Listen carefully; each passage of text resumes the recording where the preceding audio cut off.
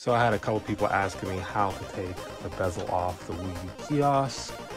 And um, I have mine kind of modded a different way after I installed a 32 inch Samsung TV and I gutted the back and I added the TV guts kind of like mounted over here and the HDMI and component cables and all that other input over here and then I, um, you can see right there, that's the TV on and off button toggle on a Samsung uh, LCD 32 inch TV. Um, the best way to take this off is to, on the side here, let me see, get my camera over there.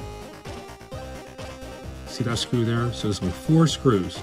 One right here, and there's gonna be another one on top and then two more on the flip side. Oh, I almost tripped on my Wii balance board. On the flip side, so two more screws. They're painted white. Philip screwdriver, or if you get a drill, it's easier with a drill. Just kind of do a little quicker. Take them all out, and then what happens is you want to take this with two hands, pull up and out because they're in there on like a slant, almost like a groove slant. You'll see what I'm talking about when you get it off. But pull up and out and give it some force. You're not going to break it.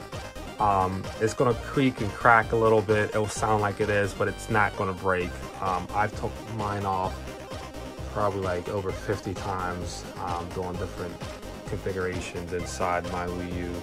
But my Wii U, um, I have it bolted back here and because I have a bigger TV, it doesn't, um, it kind of sticks out a little bit. So you can see like I have a little gap up in here. It should be like mounted like kind of flat and flush against like the Wii U sign in the top part of this kiosk.